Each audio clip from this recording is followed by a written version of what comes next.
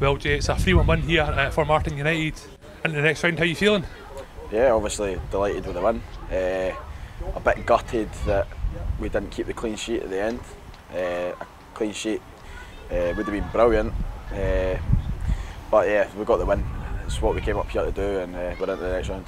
Yeah, you spoke there, um, I think it was towards the end there. You saved a shot that was going above you, and then the just bounced at the player's back and goes in. It was uh, obviously they're just flooding bodies forward. They're trying to snatch a goal, and obviously they did. But we, we played it smart. We we let them come at us, and then we obviously countered right after and got the got the defining goal. Of course, uh, you came into the team um, last week for your third appearance this season, but it was your first appearance since the Elgin game in August.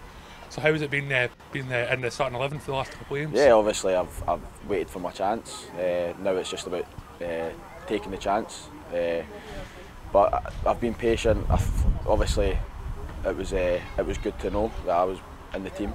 Uh, obviously, we were unlucky with the draw. Felt we could have won last week, but obviously back in, got a win now. So hopefully, I can kick on for here again.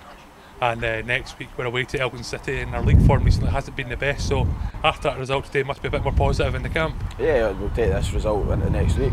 Uh, obviously, we'll be fully confident. Uh, and like you said, we, we played well today.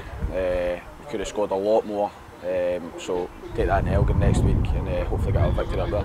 Hey, cheers, Jay. Cheers.